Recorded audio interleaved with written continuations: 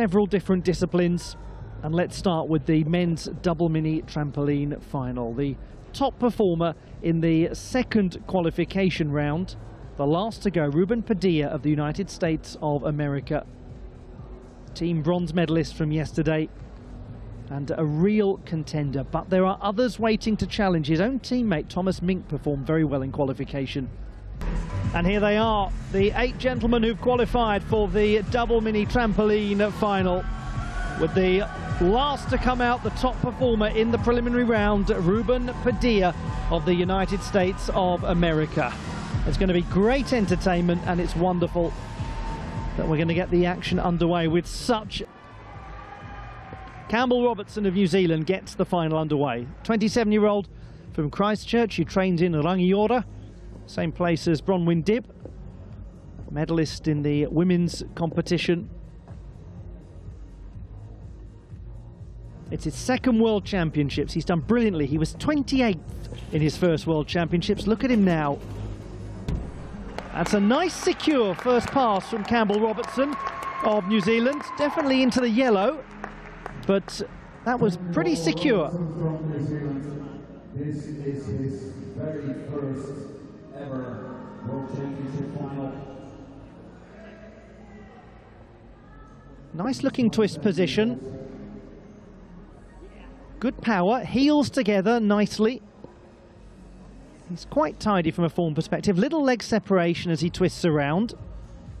And landing in the yellow for a 0.6 landing penalty. He's been an elite equestrian as well, very skilled sports person, Campbell Robertson. And he starts with a score of 26.8. So there is that 0.6 landing penalty applied. David Franco of Spain, team gold medalist yesterday. 20-year-old is from Valladolid along with all of his teammates. It's very much the centre of trampoline tumbling. Beautiful city from 1072, famous for its old town. And he's the reigning World Games champion as well, David Franco. Took the title in Birmingham in Alabama.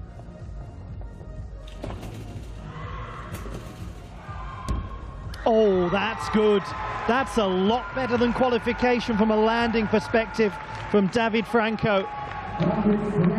He had 0.8 of landing penalties in qualification. No such issue this time.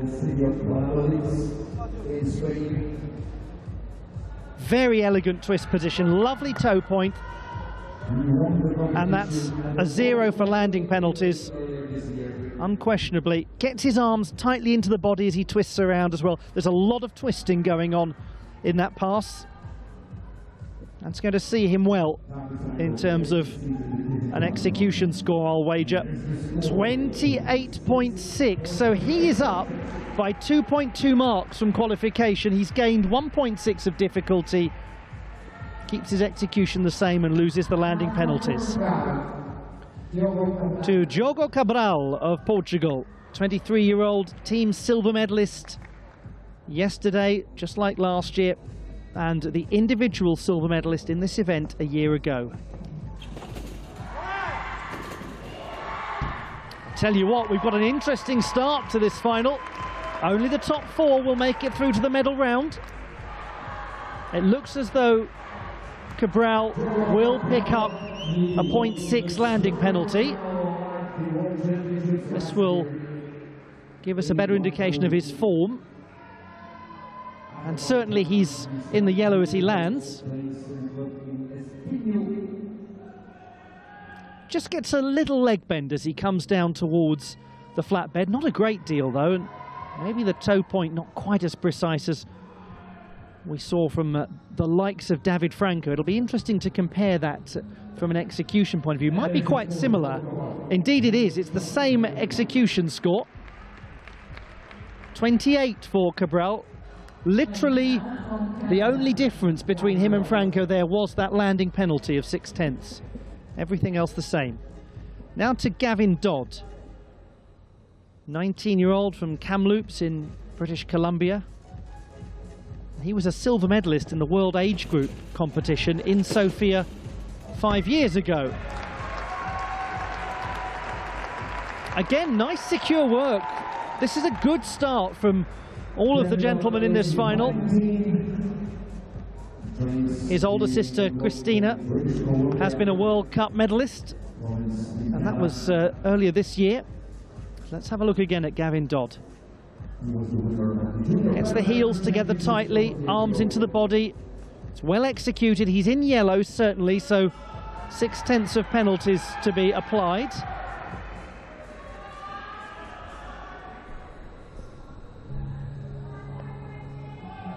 The last Canadian to win a medal in this event was Denis Vachon, highly accomplished uh, gymnast and coach who's just got back from the World Artistic Gymnastics Championships, where Canada won a women's team bronze medal. He was coaching uh, Emma Spence there. 28.2 for Gavin Dodd. His execution higher than anyone we've seen so far. Matthew French of Australia. 22-year-old debutant at the World Championships.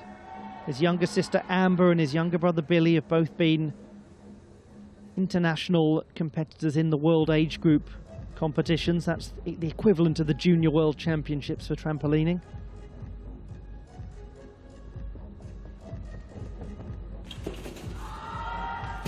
Always a bit off there, and uh, he's done well to land that okay. It's going to take a lot of landing penalty, the full one mark, unfortunately for Matthew French. And that's an example of what can happen when you just don't get the right angle as you strike down. He's a little backwards, just leaning slightly backwards, I think, as he lands onto the flatbed. His form goes as well as he's coming out of the sloping bed element. So unfortunately for him, this won't be a, a high score and will almost certainly rule him out of passage into the medal round with only the top four going through. But at least he's okay and he did well to land it safely.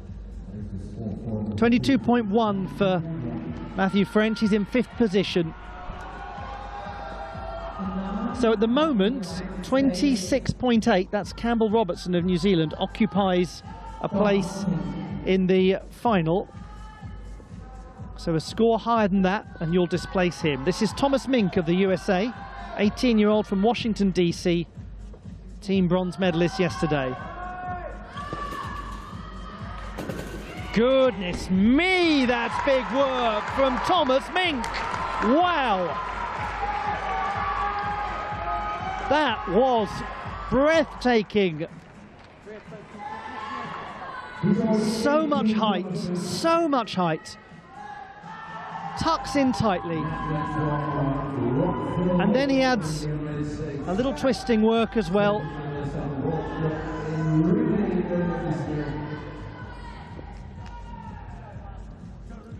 There's going to be some strong difficulty to this from the American. His amplitude was remarkable. Yeah, had to be the highest difficulty, didn't it? 10.8, 28.4, he goes into second place. So the 0.6 landing penalty for Minc. David Franco is the only one who's avoided a landing penalty so far. To Andre Dias of Portugal, 19-year-old team silver medalist from yesterday. Oh, Always off there and well done to the spotter.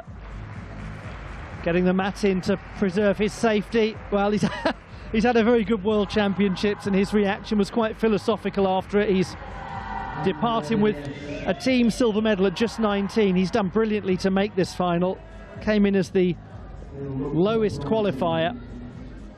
Just doesn't get the height he needs, and that's where you have the coach making those split-second decisions.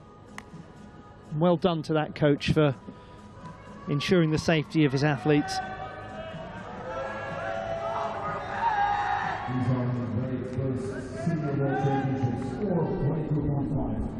22.5 for Andre Dias, so he will play no further part in the competition. There's just one to go. And it's the top qualifier. Ruben Padilla scored 30 in qualification with an 11.6 difficulty. Team bronze medalist, the 21 year old yesterday. He's from Oakley in California.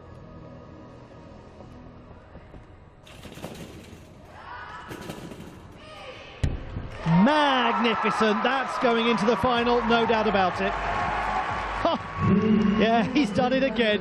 Ruben Padilla. Dear, oh dear. The elegance of this young gentleman on that apparatus is a joy to behold. The first four will go straight into that super final, the second final. Gets lots of height. Pike position, first of those we've seen. Tucks the knees in tightly. Very distinct body positions in the first part of the pass. Look at his toe point in the pike position. It's really nice. Little details, very secure. Same again as he kicks out of the tuck position. Certain elegance to his work. That's a big score. 30.2. So that is exactly the same as in qualification, minus the 0.2 landing penalty. Very consistent work. And it means, therefore, that we have those four athletes going through to the medal round. Gavin Brooks made it to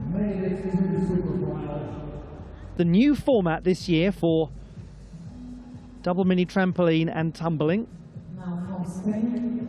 used to be that all of the gymnasts did two passes, but now only the top four make it to the medal round. Here is David Franco of Spain, second best in the last round, but the scores are now discarded. It's a zero start.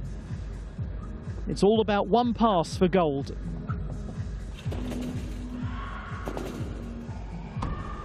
And he's looking good. Now, is he in yellow there? Think he might have been. Think he might have been. And Franco was one of only three competitors not to take a landing penalty in the first round. Again, his form in the air is excellent. That's tough to see whether he lands in yellow. He's definitely off axis. Does he land in yellow or does he land in red and hop to yellow? We're going to discover that in a moment. That's a four-tenth difference, depending on which it was. He landed in yellow. It's 27.6 for Franco. And now from Canada, Gavin Dodd. Gavin Dodd of Canada. Now, if Gavin Dodd finishes above David Franco, he's got a medal. With only four in this medal round and three medals to be awarded.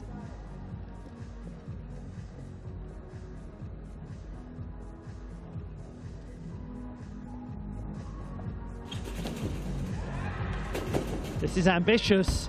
And it's successful! Gavin Dodd of Canada. What a marvellous pass. They can barely believe that in the stands. Beautiful gymnastics from the 19 year old from British Columbia.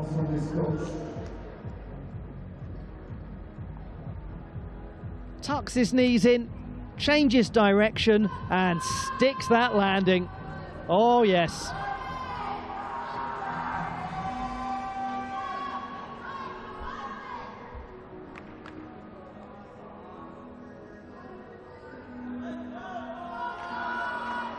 Could be about to follow in the footsteps of Denis Vachon. Yes, he's in the lead. 29.2. Gavin Dodd, that's a full mark better than in qualification. To Tomas Minc of the United States of America. This 18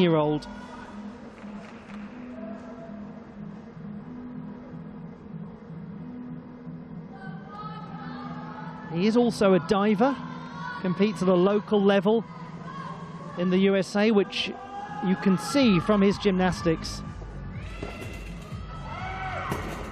Oh, he's very, very, yes, he was really off angle coming into the landing. Nonetheless, it's going to score well.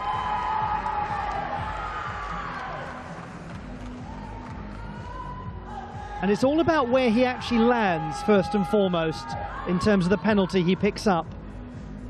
Although he ended up quite far back, he may have landed in red. Little knee bend in the pike, and again there. Yes, he's only going to pick up two tenths of penalty for that. There will be some execution deductions for the stabilising of his landing. They're called instability deductions, can go up to a few tenths.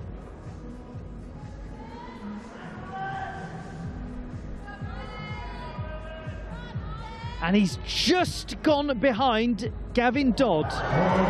29.1 and it means that Tomas Minc is guaranteed a medal and it means the USA continues its streak of 10 in a row in this event courtesy of Tomas Minc. Gavin Dodd has won at least a silver medal and here is Ruben Padilla of the United States of America to finish this final off. 30.2 in the first round. If he gets even close to that, he will win. Had trouble at the World Games, though, at this stage. That should get the job done, and it's massive relief for Ruben Padilla after he repeated part of his pass from the first stage of the final in the second stage at the World Games, didn't get the difficulty for it, ended up finishing in fourth place. Now, he's done something that may well bring him his first ever World Championship title. Four silver medals, two bronze medals. That's only going to be a 0.2 landing penalty. Now, how is it going to compare to what we've seen so far? Dodd leads 29.2. Not anymore. 30.2. The champion of the world at last is Ruben Padilla, the 21-year-old, after so often taking second place at the World Championships. Not this time. He's the best out there and the extraordinary record of the United States of America in double mini trampoline at the World Championships continues. His teammate Tomas Minc takes the bronze and Canada's Gavin Dodd wins the silver medal.